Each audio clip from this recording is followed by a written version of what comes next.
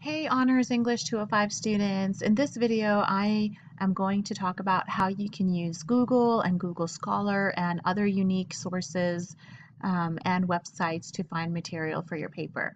So in the previous video I showed you how to use the library database, the Mesa library database, um, but sometimes you can find really great uh, material from Google as well. So Google is a great place to go. I think most of us have used it.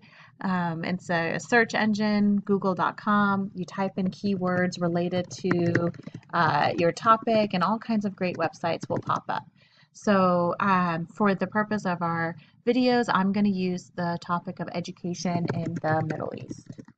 And um, here you just have to you know be careful about using internet sources and make sure that you're using sources that come from you know credible websites. And you know i see that there's some information from unicef which is an organization and then there's also entrepreneur.com article. So .org websites are you know for-profit nonprofit organizations. Um, they're not necessarily bad but just know that they will have, you know, content and information that may be biased or geared towards their organization's missions and values. I'm not saying it's wrong to use these kinds of sources, but sometimes you may find some random person's website who has not really had, you know, uh, fact checked or is just making up facts and statistics. And um, you know, if it if it seems if you are assessing a source and if it seems uh, that it may not be credible, then avoid using it. And um, no, you cannot reference, you know, information that you read in Wikipedia, but that doesn't mean you can't use Wikipedia. So um, for your research paper, just don't cite Wikipedia as one of your sources, but you may go all the way down to the very, very bottom of the page in Wikipedia, and you may find some great material um, that are scholar scholarly and academic, and you may use them to write your paper. Uh, so, for example, um, let's look at this this link over here. It's written by um, Islam Hassan and Paul Dyer. It was published in 2017. The title of the article is called "The State of the Middle Eastern Youth." It was published in the journal called The Muslim World, um, you know, volume 107, um, edition one, and it's, you know, about nine pages long, right? And you can click on it and it'll take you to that source. And this is a great critical, uh, you know, uh, this is a great credible source to use. Um, you can download its PDF and, you know, read the article and take content from it and use it to write, you know, different sections of your paper. So, um, you know, just make sure that you are, um, you know, using great material. And, you know, when I look at, you know, this source and see that it has lots of editors and it has an editorial board, this shows me that these scholars and these authors have done their, you know, fact checking um, and, you know, before they have written, you know, this, this paper. So going back to the search engine, that's that about the Wikipedia. One other place that you can go to is called Google Scholar. I love Google Scholar because you find material, uh, scholarly and academic material um, fairly quickly as well. So from the main Google page, just type in Google Scholar and then click on the very first link and then you know type in keywords related to your topic so education in the Middle East and then you'll start to kind of see these great articles and titles come up. If you see a link on the margin over here, you have access to it for free. But you might, you know, um, see a title and you might say, well, I really want this, but there's no link to it. Most likely, this is a source that you have to pay for. And I never recommend paying because there's just enough material for free for you to write your paper. So for the purpose of our um, you know assignments i don't want you to think that you have to go and pay for sources. Once you get to the graduate level or doctoral level and if it's absolutely you know a paper that you need to get your hands on for your dissertation or your master's thesis then you can you know pay for it if your library can't find it for you for free. Um, but for the purpose of our you know assignment as you can see there's tons of free material that you can click into. One thing about these search engines is don't just focus on page one of the search. Go to page two of the search. Go to page three of the search. You'll find a lot of great material um, as you go to the next page as well. And you know, you can narrow down, you know, if it's too much, like here, there's about 4 million sources, and that may be too much, right? So you can narrow down and say, you know, only give me sources that were published uh, since 2020. And that'll narrow down your search. It'll give you the most relevant, most recent published material for you to um, for you to use for your paper. And um, I love Google Scholar because it has that cite button. So it'll cite the source for me. So here is the article, here's a PDF. I can narrow it down. I can read the abstract to see what this article is about and if it'll be helpful for my paper. But most importantly, it has that cite button, right? The one that looks like a quotation mark and I can click on it and there's a citation. I can just copy it and bring it into my reference page. So, so far I've shown you how to use Google. I've shown you how to use Google Scholar.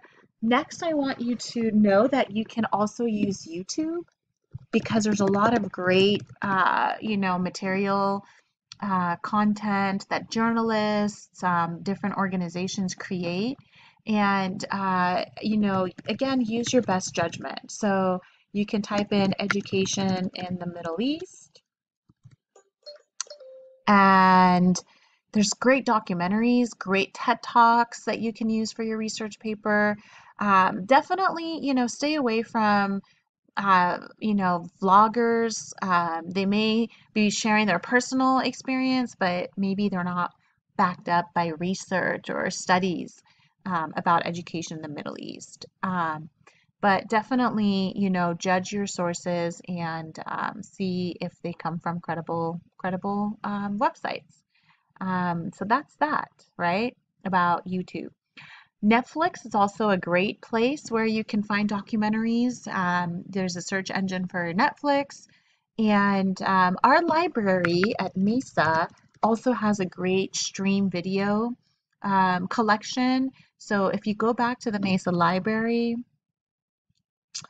and scroll down to where it says research tools, click on where it says uh, streaming videos and then from there, you can go on Films on Demand, Kanopy, or Swank.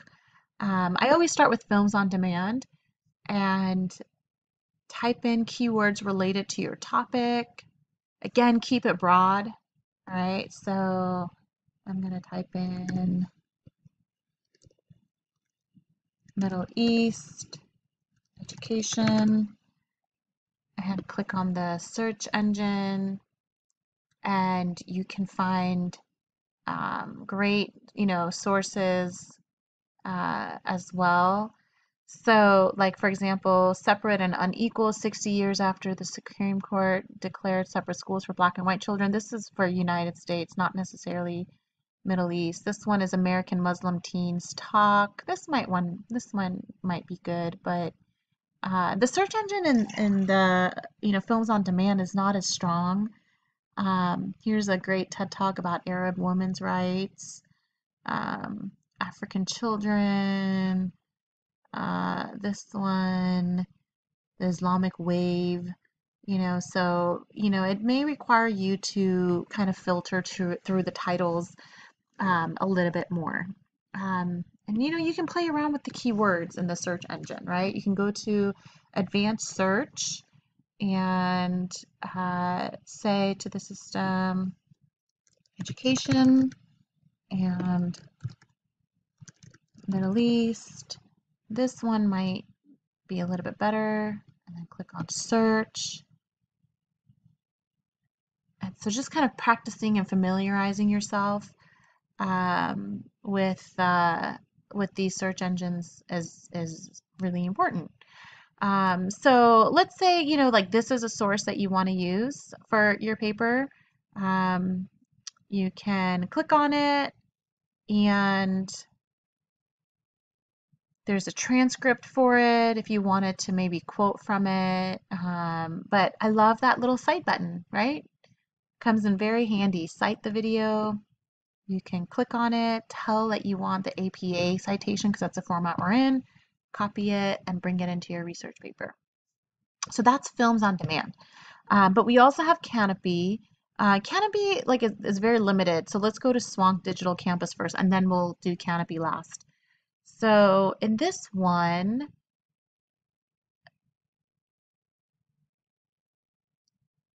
you'll see the um, you know search engine again. Type in education Middle East. Notice that it's not a title um, and it's not a person. So this one might, you know, be a little bit, no, let's just press enter. Okay, nothing came up. Let's see if we can type in Middle East and see what comes up. Um, I like Swank a lot, uh, but uh, it has more popular movies, you know, the kind of movies you may watch on a Sunday night. So, for example, um, you know, Almost Famous or American Beauty. So they, you know, they're kind of like movie theater type movies and not necessarily documentaries. So if you're, you know, ever wanting to stream it and have a movie night with your friends and family, this one might be a great place to find some free stuff. Uh, you know, I don't think there's a cite button here. Uh, so I don't think you can click on the video and get that because it's not really academic, it's more entertainment. So I don't know, you might be able to find a great film. Yes, you can use fictional films in your research papers. Um, let's do Kanopy. And let's see what we find in Kanopy. Kanopy is very limited. Um, again, I don't know if you type in education and the Middle East. I don't know if anything will pop up, but um, yeah, we don't have a whole lot of, you know, stuff. But here's called The Last Prayer right? 186 videos you can request for your library, but doesn't mean, you know, we have it.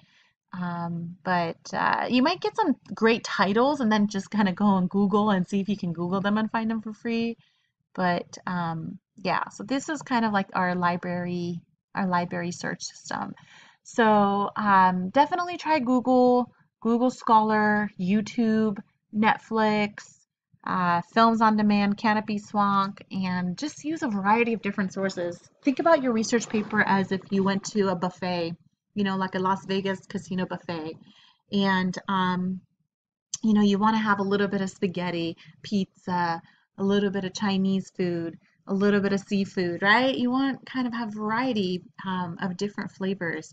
And so with your sources for your research paper, you want some ebooks, some journal articles, some videos, some films, and you want to really look at the topic from multiple angles and learn about the topic from multiple angles and then see if you can kind of come up with a um, overall conclusion about what you learned about this topic from looking at all these angles um, and writing about it in your in your paper. So that's that um, about uh, you know how to find sources. Again, I'm here for you if you want to meet one-on-one and look for sources together. Um, and then uh, we'll be able to get your research started and um, yeah, and carry on. I hope you guys have a great day and I will talk to you guys next time.